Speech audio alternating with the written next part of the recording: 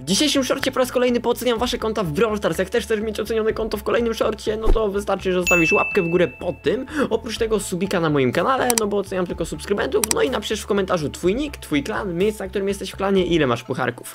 Polecam, a na początek ziomek o niku Bellingham. Wow, to jest chyba ten z Realu Madryt. No pucharków nie ma jakoś dużo, winów 3 na 3 też, no mógłby chociaż ten tysiaczek. Ale z tego co widzę jest tutaj 25 rank, więc za to plusik. Ocenka dla ciebie ziomek to 3 na 10.